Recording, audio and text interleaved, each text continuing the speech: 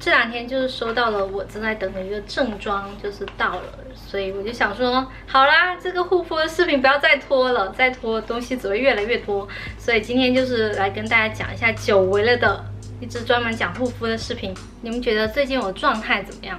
但是今天这个眼皮还是有点肿。对，我要先说明一下，就是这么多产品，我不是说就一下子都在用，就是同时在用的。很可能是说啊，过了这个冬天之后，我觉得这个面霜太厚了，然后我就换了另一款面霜在春夏用，或者是说有一段时间啊，我觉得我自己的状态不是很好，然后这个精华不够给力，然后我就换了另一款精华去用，所以就比较能区分得出啊，这个效果是用的这个产品。有的这个效果，而不是说前面这个产品。总的来说，就是我用的这些产品，就是会有一个时间上的间隔。这样子的话，我就可以很明确的区分得出啊，这样的一个效果是用了这个产品，而不是那个产品。大概就是这个意思，就是先跟大家说明这一点。对，还有一点我要说一下，因为这一次讲的产品都会比较多，有一些是我特别推荐的，有一些是我。不怎么推荐的，所以这次我会在我的 blog 里面，就是每一个产品下面都用了一句话来概括它，就相当于说给大家一个提示、一个提醒，就是回想一下，就是视频里面说到的，不一定是都是推荐的。我不希望说有人跟着买之后觉得不好用这样子。还有，我希望今天能把 Amazon 说对，不然每次都念作 Amazon，感觉我永远进不了 Amazon 了。话怎么这么多啊？还没开始。然后就是说有一些，因为我之前已经推荐过了。然后我就会说的比较快一点，然后有一些我不太推荐的东西，就是我用一句话就是带过。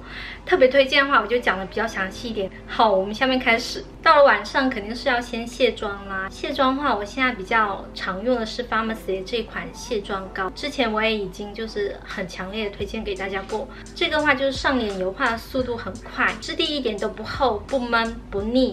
虽然它比较温和，但是它的清洁力度也很大，就是。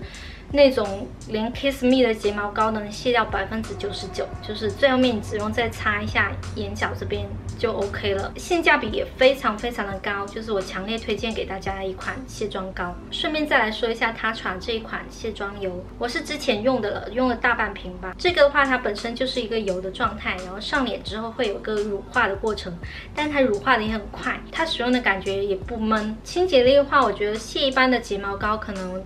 在百分之九十左右，你用温水把它冲掉之后，就是会发现这个睫毛膏残留的还蛮多的。所以无论是从它的清爽度啊，还有清洁力度来说的话，我比较喜欢的是 Pharmacy 这个卸妆膏。这个卸妆膏真的是轻轻松松、清清爽爽就把你的妆卸掉了。就是我很推荐它。接下来我还是会再用一个就是泡沫的洁面做最后一步的清洁。我基本上比较常用的是 Caudalie 的这一款，这一款的话我已经用了非常非常多年了。就是你压它，它出来的那个泡沫嘛，就是很绵密，而且也很细腻，基本上你就不用再发泡了，然后就可以用这个清洁仪，然后。洗洗洗这样子，我用了这么多年，主要是觉得它就非常非常温和，就是你哪怕不小心进了眼睛，也没有刺痛感。就你把它冲掉之后不紧绷，哪怕你在冬天用它洗完脸，也一点都不紧绷，不干燥，然后也不会假滑，就是洗得很干净清爽的一个状态。这个牌子在一些樱桃的。那个彩妆品上面买的话，便宜非常非常多，比美国这边便宜非常多。我之后会在讲到他们家一款精华的时候，再详细跟大家说。就晚上我基本上做完清洁工作之后，我会用一些美容仪器。或者是开始做一些面膜，很偶尔的时候会用到这个，但是这个用起来实在太麻烦了，而且很久，所以我现在很懒得用它。然后我最近还新买了一个美容仪器，也是前几天到的，我还没开始用，就之后再给大家做一个我在用的一些美容仪器的一个盘点。跟总结，所以这支视频也是先不说这些美容仪器了哦，不然会太长又臭又长。不论是我要用美容仪器也好，或者是做其他的面膜也好，我都会在鼻子这边、鼻翼这边做那个清洁的面膜。然后下面我要跟大家讲一下我在用的一些清洁面膜有五款，因为阿姨年纪大了，毛孔真的会变得很粗大。不是吓你们，真的年纪大了会越来越多的这种皮肤上的问题。不过好在现在生物科技这么发达，我们都可以搞定它。就是这五款清洁面膜，然后我先一句话总结一下。它们的清洁力度，力度最大的是这个 Oroma Visa，又要读这个产品名了。有没有在匈牙利的同学可以告诉我这个名字到底怎么念？因为我看很多欧美的博主也念的不太一样。Wait，我这次会把它念对。这个是 Deep Cleansing Mask。就是深层的一个清洁的面膜，这瓶是 Glam Glow，就是说是好莱坞明星都会用的一个牌子。这两款清洁面膜是这五款之中清洁力度最大的，就是它可以对付鼻头上的一些比较大一点的黑头。就是你敷完之后把它洗掉，哎，觉得好像干净了好多。但是有一点，清洁面膜这种东西，你要就是要不断的用它，就是要持续的用，然后才能达到一个很干净的一个状态。这个牌子有些樱桃的网站，它时常会打折嘛，其实打折下来也还好啦，价格没有很贵。然后再说说第二高的，这个也是一种枣泥的面膜，基本上这种清洁面膜都跟那种泥呀。什么沼泽泥呀都有关系，这个也是。但是他推荐的方法是，就是你敷完之后用纸擦掉，就是然后你再去冲它，就是不要直接冲它。这个的话清洁力度也还可以，就稍微比前面两款低一点点，对付一些中等大小的黑头。我说的中等是真的中等，我说的大的黑头是真的很大的黑头，就是肉眼可以很清晰的看得到的一种黑头。就是它也可以对付到中等大小的一些黑头，然后我还用了这款伊索，就是中文名叫伊索的这个像牙膏一样的这个也是清洁面膜，但是它的清洁力度我觉得还蛮低的，就算是中等偏下吧，只能对付一些比较小一点的黑头。就是我不太推荐这一款，因为前面讲的这些清洁面膜都要敷上大概十分钟以上吧。然后我平时比较赶时间，比如说我早上起来啊，觉得今天的毛孔特别大，然后特别脏的话，就我还会快速的用这一款，它是 Doctor Jart 这个牌子的，应该是一个韩国的牌子。这款的话应该也不是标准意义上的清洁面膜，因为它就是让你大概敷只用三分钟，它干掉之后，然后你混上水。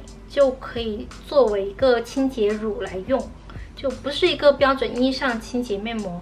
所以这个的话，它因为使用的时间比较短嘛，就可以算是一个紧急状态的一个清洁面膜。清洁力度的话，算是中等偏下，但是可以应个急这样子。这款的话，它应该是有一个盒装的，就它应该是有三支的，但是我有一支应该是放在浴室里面，我懒得找出来了。这三支的颜色，一个是粉泥吧，一个是绿泥，还有一个是黄泥。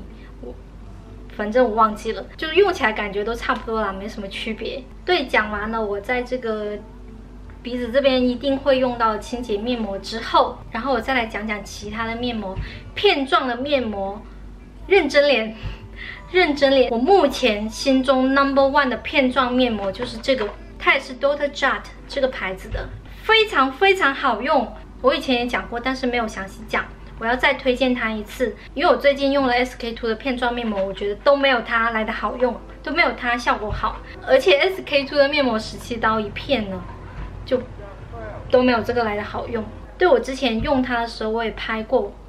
就切给大家看一下，它的面膜纸非常非常的薄，上脸非常非常的服帖，就可以紧贴你脸部的每一个区域。因为它的面膜纸很薄、很柔、很滑、很软，整个状态上脸就非常非常舒服。对我要特别特别强调一点，就是你一定要买的是这个绿药片装的，是一些红药片什么的，是吗？我也忘记了。缩毛孔效果的面膜都没有这个绿药片的好。这个绿药片呢，就是既补水又镇定。然后又 smoothing 又能平滑肌理的，它的效果是真的很补水。就是你敷到半个小时，面膜摘下之后，你就会感觉到你的脸无比的软滑、顺滑、润。就是因为它有 smoothing 的功能嘛，所以我觉得它对一些小细纹也有平滑的一个作用，效果可以持续到第二天。基本上我敷完它再上妆的话，那个效果真的好到爆了，好到爆了。就真的敷完之后，脸的触感真的像婴儿皮肤一样，超级推荐它绿药片款的，绿药片款的哦。接下来我再讲三款水洗的面膜。第一款之前的视频我已经详细讲过了，就是这个 Fresh 的这个急救的面膜，就是一个对付暗沉的利器，就比较推荐给一些跟我一样经常失眠的人啊，或者是你不得不熬夜的人。因为你熬夜的话，你第二天起来你去照镜子，你要仔细观察你的脸，就会发现。非常非常的暗，你的脸会非常非常的暗，特别是嘴巴这边、人中这边会有一圈黑的啊，或者是你觉得脸颊这边特别特别暗，就感觉整个人哇气色好差那样子，然后就可以用到这款面膜。就你把它敷五到十分钟这样子，你把它冲掉，就立刻能感受得到，右眼可以看到的。透亮，皮肤就变得很透亮。这边暗沉的话就没有这么严重了。其实暗沉这种东西的话，如果你的观察力不是很强的话，你平时可能不太会发觉。就如果你的观察力没有这么好的话，你可以自拍或者是拍照的时候你放大看。如果你嘴角这边一圈黑的话，就说明你暗沉真的很严重了。有时候你照镜子可能不一定看得出来。然后第二款水洗面膜是也是这个 Oromo Visa，这个名字真的哦，不知道这辈子还能不能把它念对了。这个的话，它也是一个沼泽泥的面膜，但是它跟之前说的一些清洁面膜不太一样，因为它不仅仅有清洁的功能，我觉得最明显的是它的紧致的效果。它的话一开始上脸也是一个比较湿润的一个泥的一个状态，就在脸上。然后你把它留在脸上十分钟到十五分钟之后，它就会慢慢慢慢的变干，就是你在敷的过程中会很明显的感觉得到它在就是拉紧你的脸，就是这样子提拉。有种提拉的感觉，因为它有一种紧致的效果嘛，就是会让脸的这个轮廓特别特别的清晰出来，就是对去水肿。然后紧致非常有效的一个面膜，基本上现在是我的一个浮肿的救星吧。因为我现在非常非常容易水肿，因为可能进了三十之后，这个代谢真的会慢非常非常多，所以我现在非常非常容易水肿。我每天的脸型 都有点不太一样的。如果我那天脸特别特别肿的话，会很像猪头，然后脸很圆很圆，完全看不到弧线。但是如果我不浮肿的话，就是脸的轮廓就会特别特别明显。接下来就是这个 Fridays 这款面膜，上支视频也详细讲过，它就是一个紧急的补水呀，稍微有点提亮的一个面膜。好，这个我们先快速的略过，因为那天录太久了，所以我就没有讲完。然后今天的话，就继续把之前没有讲到的讲一下。基本上我也不是每天都会做面膜啦，就是看当时的一个状态。不过我觉得我今天状态好好。洗完脸做好面膜之后，我就会进入一个护肤的程序。然后一开始就是用这个 SK two 这个神仙水，这个话感觉不用我多说了，就是先调理好这个角质，也很能改善皮肤的水油平衡吧。就我虽然是干皮，但是平时春天、夏天的话，我额头这边还是会经常出油的。用了它之后，那种很过分的油光就。基本上没有了，所以这个神仙水应该混油的同学会更喜欢。它的话就是调理角质嘛，然后会让后续用的护肤品会吸收的更好，效果也更明显。用它的话，第二天起来我也觉得皮肤会非常的透亮，就是会有一个健康的状态。大概就是这样子。我觉得这个东西就是你停用一段时间，跟用的时候比，那个肌肤的状态就是会有差别，就是你可以看得到效果。之后我就会开始用精华了，然后我现在主要用的一个抗老的精华是这个 Three Lab。这个牌子应该是美国一个生物学家创立的一个牌子，然后我大概是两三年前知道很多就是好莱坞的明星都用这个牌子，然后我就一直一直想要试它。今年的话我就试到了他们家两款产品，我都很喜欢。现在就先来讲一下这款精华，他们家主要是做一些抗老的产品的，但是也会分不同的 level，就是比如说你就比如说就是初步抗老的产品，然后到抗老的产品，然后到高度抗老的产品，到顶级抗老的。产品基本上就是进入到熟龄肌，比如说二十六岁之后，每个阶段都会有对应的就使用的一个产品。然后我现在用的这个是 H Serum，这个的话应该是第二阶段抗老的一个产品了，因为是抗老产品吧，你们懂的，就是会价格稍微贵那么一点点，但是。因为平时很多那种什么樱桃网站啊，什么经常搞活动，什么七折八折的，其实打下来我觉得还好啦，就还好啦，而且效果跟价格是成正比的。呃，这款精华的质地会比较有流动性一点点，就是你可以看得出来它会吸收的很快，就基本上是拍进皮肤之后，它就咻咻咻，就立刻的就吸收掉了，然后立刻你就能感觉到皮肤变得更细软。就是很嫩很滑，就是那个触感就会很好。它的功效是会补水，然后是提高肌肤的纹理，就是肌肤的纹理，就是说会让皮肤更平滑、更光滑、更细腻。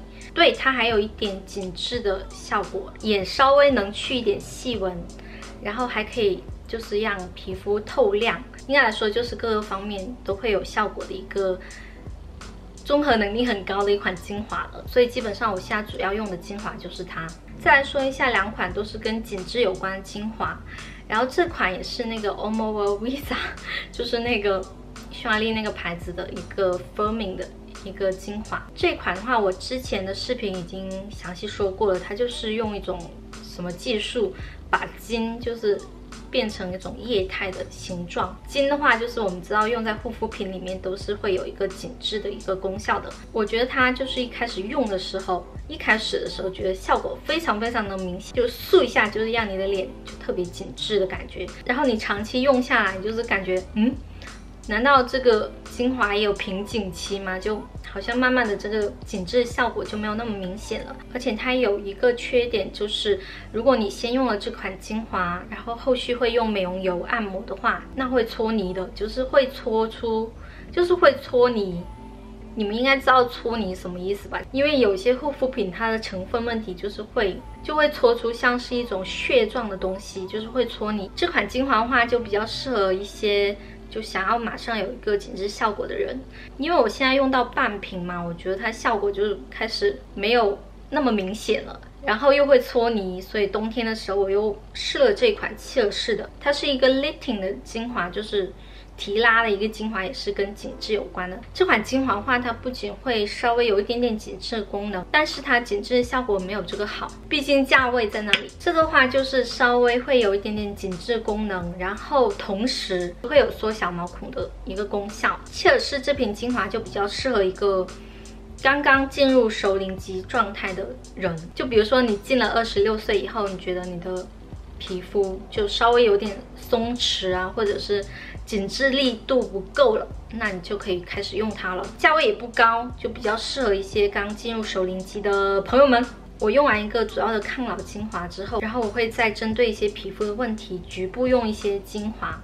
我之前不是说我因为睡觉有问题嘛，然后经常失眠的话，就是暗沉会很严重。当然那款 Fresh 的面膜不可能说就天天用，所以我就试了一些，就是可以 Radiant，就是 Luminous。的精华，我用到的去暗沉还有均匀肤色效果最最突出的，就是这个 Caudalie 的 Radiance 精华。这款精华就是我之前说它正装刚刚到的那款精华。我之前是用到这个中样，我用到第二天，立刻就能看到这个。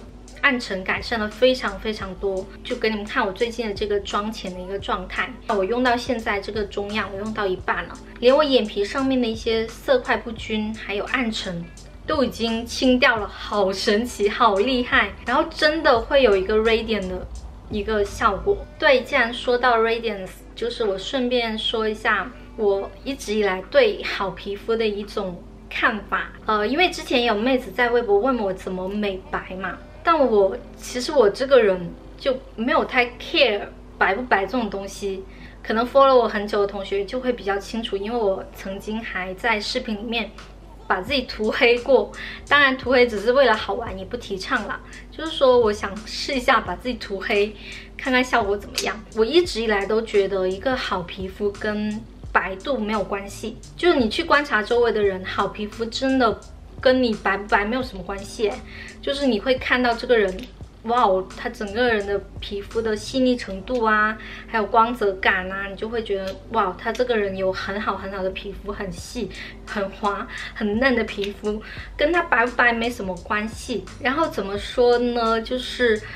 呃，英文里面有一个单词叫 pale skin，就是就是形容一种很苍白的不健康的皮肤，就叫 pale skin。对，然后我们中文里面也常常形容一个生病的人，说啊，你看起来好苍白，好苍白，应该是在生病这样子。所以我一直觉得，与其说你去追求一些不自然、不健康的白度，就不如把重点放在怎么样提高皮肤的细腻程度，提高它的透亮程度。然后让皮肤看起来就是很有神采、很有光泽，就是会看起来是一个好皮肤、健康的皮肤。就说要透亮嘛，就你可以看一些护肤品的一些英文原名，它都不会说是叫 whiten，就是变白什么的，基本上都会叫什么 radiance 啊，或者是 luminous 啊，或者是 brighten。都是这样的一个用词。如果你也有留意一些大牌的护肤品，它在一些官网上的一些功效的简介的时候，它也是用词是会让你的皮肤 radiance，然后或者是 luminous，就是这样的一个用词，就是会有光泽，会有光彩。就不说英文了，就是我们中文形容一个人状态很好的时候，也会说哇，你整个人光彩照人，就是皮肤很透亮，很有光彩。而且很多这种欧美的护肤品进到亚洲市场之后，为了迎合这个市场需求啊，都会翻译成亮白、亮白。所以啊，都是一样的概念啊，只要让你的皮肤透亮啊，就会给人很健康、很白皙、很清透的一个皮肤状态，就觉得你这个人皮肤很好了。包括我讲的这款就是暗沉的天底精华，它也叫 Radiance。精华，这个基本上就是 Caudalie 的明星产品了。我真的用到这个中样之后，真的相见恨晚。差一点忘记说，补充说一下，这个 Caudalie 这个牌子，在一些樱桃的网站上比美国买便宜非常多。像这个 Radiance 这个精华，在美国买好像是八十刀吧，然后我在樱桃的一些彩妆品网站上买的话，好像才四十几刀吧。就这瓶精华四十几刀，而且效果这么明显，这么好，所以我就超级超级推荐这个 Caudalie 的精华给大家。之前我不是说我为了对付暗沉试的一些精华吗？我也试到这个 Sunday Riley 这个精华，应该是他们家的，也是一个王牌精华了，叫 Good Genes。这款话它也是说会给你一个 Radiance Younger Looking。的皮肤状态也是一个 Radiance 的一个产品，就是会去暗沉，让你发光的一个产品。这个的话，的确头几次用效果也是很明显的，就是这边的暗沉也可以去掉，也是可以改善暗沉的程度，然后这个让皮肤 Radiant。但是这款精华一涂上脸，我觉得有点刺激，哪怕我不是一个敏感肌的人。但是我都会感觉到它有点辣辣的感觉，所以如果你是敏感肌的话，这个 Sunday Riley 的这一款还是不要试了。我觉得用完精华之后，接下来就会用眼霜了。我现在晚上会先用这款切氏的眼部精华，然后再用这款 Omo Visa 的这个蓝钻的眼霜，然后我再顺便讲一下我今年试到的一些眼霜。在这个之前，我要先讲一点，就是如何去挑选一款。适合自己眼部状态眼霜，我要先说一下，就是很多人会把黑眼圈跟眼袋混淆在一起。眼袋，眼袋之所以叫眼袋，就是它是带状的，就是会 bagging。bagging 是什么呢？就是会膨胀，就是会有一种立体的带状的感觉，那个才叫眼袋。然后黑眼圈的话，就是黑的一圈呐，它叫黑眼圈。就是无论你的黑眼圈的圈有多大，只要它不 bagging。是不会有带状感，就是不会有膨胀感，那它就只是黑眼圈，不是眼袋。然后这是一点，就有些人的眼部状态，它虽然不 bagging，但是它是会有点凹的，就是这边会有点凹的，那么就会形成一个泪沟。所以这是我们传统意义上说的泪沟。你先去搞清楚你的眼部状态，然后你再来选眼霜。下面就开始说我今年又用到了一些眼霜，我应该是一个。我应该可能是用的眼霜最多的博主了，然后应该 follow 我很久的人都知道我的眼袋是怎么去掉的，就是用了这个 Omoiza 的蓝钻眼霜。如果你是新来的同学，你可以去翻我一六年的化妆视频，一六年的，就大家可以看到我眼部的一个状态跟今年的对比，就是完完全全不 bagging 了，没有带状感了。靠的就是这个蓝钻眼霜，这个我就不用多说了，真的，我之前也有一支视频详细说过它了。我用到现在大概是一年半的时间，然后用到第二瓶的一半了，眼睛就基本上不怎么 bagging 了。所以我就一直说啊，你一定要相信现在的生物技术，现在生物技术没有什么不可以解决的你的皮肤的问题，真的。如果你觉得你的皮肤问题没有得到解决的话，只是因为你没有试到。有用的产品而已，真的，大家要相信现在生物科技。我用下来主要是觉得它对眼袋的收缩就是比较有效，然后再稍微有一点点去纹的功效，但是我觉得它去黑的力度不够大，所以我在这个眼霜之前，我会再用一款这个切尔氏的精华，它就是一个 eye brightening 的。一个眼部的精华，而且它不仅仅有去黑的功效，我觉得很明显的是它可以去纹，就是去眼角这边的纹。这款眼部精华性价比就非常非常高了。如果你有黑眼圈，然后又有点细纹的话，那就选择它。然后我再来讲两款我也比较喜欢的眼霜，就是我用到他们家的第二款产品，它是一个眼霜，然后它的质地就是你看起来它是有点。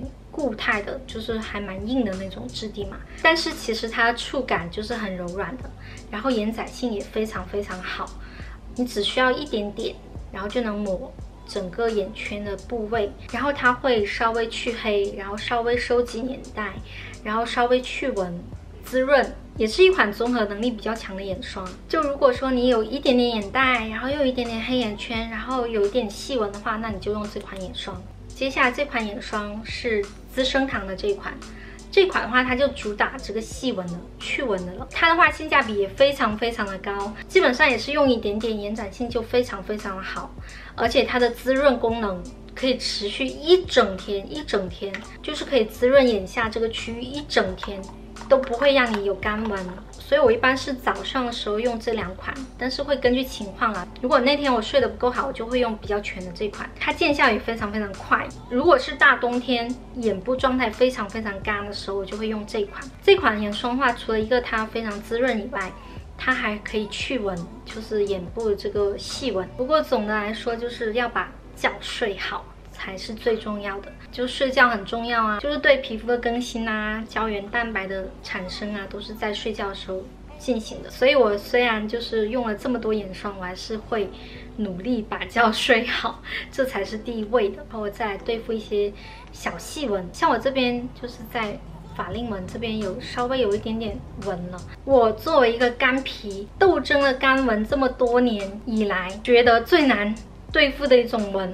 其实是博纹，我是从去年冬天过来，突然发现自己的博纹变得好严重哦，然后才想说不行了，我要专门用去纹的产品了。只有能对付博纹的产品才是真正厉害的去纹产品。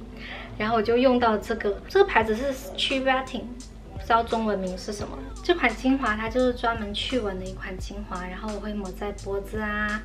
然后法令纹这边、抬头纹这边，基本上就是抹到第二次的时候，你就会发觉小细纹基本上已经淡掉了。所以这款去纹精华还是蛮厉害的。然后我也试了一些。颈霜吧，也试了，这个也是 Omorovisa 的这个颈霜，这个不好用，不推荐，因为我觉得它就是稍微有一点点紧致的效果，基本上没有什么去纹的功效。对于它的价位来说，我觉得一点都不值，所以这款颈霜就不推荐给大家了。大家记住，我不推荐。今天就只讲这两款面霜哦。因为我怕太长了。这款 Revive 的面霜，我买的是这个 Supreme 的 Supreme 的一个版本，就是专门为干皮准备的一个版本，所以它非常非常的厚，质地相当的厚。我都是在冬天的时候用它，然后到春夏之后，我就换 La Mer 这款面霜，它是一个 Soft Cream，就是它已经是一个 soft 的一个状态了，就它是软的，就它整个面霜质地已经是软的，就你不用再去。软化它，然后你就可以直接涂上脸。它质地就是很软、很细腻的一个状态，然后皮肤能吸收的非常非常快。所以我到晚上现在用的话，我基本上都是敷很厚的一层，就哪怕我敷的很厚，也不会有一种很油腻的感觉，就是很清爽的一个质地，然后很适合春夏的时候用。这款话，它的效果我觉得主要就是一个 regenerate 的一个。状态就是就是能让皮肤就是新生的一种功效，第二天起来就是会感觉皮肤比较嫩啊，比较滑。就是一种新生皮肤的状态了。有时候我睡得比较好的时候，会脸色特别红润。但是这款面霜的话，我觉得对去细纹的功效不是很明显，因为它就是促进皮肤新生的嘛，所以它可以稍微淡化一下痘印啊。所以我觉得不一定是一些老龄化的肌肤才可以用。然后我再来讲这款面霜，这款的话，它就质地非常非常的厚，真的非常非常的厚。就压得很实的，你们看，就如果我是春夏这段时间用的，我只用一点点，然后它就真的非常非常 rich。就是延展性就非常非常好，你可以推掉半张脸。这是一款质地很厚的一款面霜，如果你是沙漠皮的话，我估计春夏你用这款还是 OK 的。这款面霜它有个普通的版本，这款面霜它也是主打一个 renew 的一个。效果就是也是让皮肤再生就更新的一个效果。它的话就是滋润，是让皮肤 renew，就是会让皮肤软细滑，然后会淡一些斑呐，也是会淡一些痘印呐，然后还可以去纹。我觉得它也是能对付一些小细纹的。然后这款面霜就是综合能力比较高的一款面霜了。然后就到早上的一个护肤的程序了。然后我一般早上只有两个任务。第一个就是消肿、消肿、消肿，然后第二个就是补水、补水、滋润、滋润，就是做一个妆前的准备。首先是清洁，然后就是用 Caudalie 这个清洁泡沫。早上用的化妆水，我一般是用的这个牌子的。呃，我现在拿的是薰衣草的，它那个玫瑰的我也有，没有翻出来，都挺好用的，就是一个很。基础的一个补水的功能，这个应该就是一个很天然的开价的一个牌子，一瓶大概就是十刀左右，我用了蛮多年了。就是它有基础的补水功能，然后这个薰衣草的它有点镇定的感觉。如果有时间的话，我就会去做那个 Omoriza 的紧致面膜。然后时间再不多的话，我就会用 New Face 这个消肿，因为它只有几分钟嘛。如果实实在在没有时间的话，因为我的人生，呜，然后我就会用这个。这个精华，这个是娇韵诗的精华，这个我用了好多好多年哦，应该是一四年的时候我就开始用了，然后我最近也是刚好又用完了一瓶，然后又用第二瓶。这个的话就是消肿效果还蛮明显的，特别是我会用在这个眼皮上面，就是会消肿的比较快。我之前不是说过，我二十五岁之前就是完全不知道自己的脸可以 V 字吗？就是完完全全是一张圆脸。然后我一直以为自己是 baby fat，后来我就是用到这款精华，我才知道哦，原来那不是 baby fat，那是浮肿。真的，妹子们就是要消肿，消肿了之后，脸哦真的小好多，小了好多。我以前真的肿的像个猪头一样，我一直一直都以为自己是圆脸，然后就是消肿之后，就是包括你们看今天，就是我今天脸一点都不肿，就是。整个轮廓就瘦了非常多，所以基本上这么多年下来，我一直保持着买它的习惯。以前我还没有用这种美容棒的时候，就是我抹上之后还会用脸去做一些 massage，就是做一些按摩。现在的话，我就是把它涂上之后，就是吃早餐的时候啊，在这边撸啊撸，就在这边磨啊磨，擦啊擦推啊推，然后浮肿状态就会好很多。这个应该就陪伴了我四五年的东西了。消完肿之后就是为 ready for 这个化妆了。现在是春夏嘛，我还在用 Tatcha 这瓶美容油，因为它真的非常的清爽。就我现在春夏用，就我现在春夏用完全 OK 的，然后一点都不厚，清爽，质地很清爽，很润。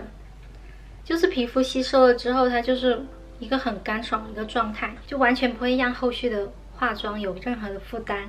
然后就吸收的也很快，而且我觉得它会稍微平滑一些小细纹，所以有时候晚上也会用在脖子这边。这支视频感觉成品会突破三十分钟，不管怎么样，终于完成了一项大任务了。然后以后的话，再用到的话，就是陆陆续续的这样子讲了，就不用再这么大的一个工程。好，感谢大家的收看了。然后最近我睡得蛮好的，之后会陆陆续续会不停的更新。下支应该会跟大家讲一下我最近买的一些彩妆啊啊什么的，我都想好了。好欲吐的同学可以把那个旁边的小铃铛打开，这样子就不会错过我的更新了。好，B 站的同学就。帮忙收藏吧，好，就先这样，好，感谢大家收看，再见，拜拜。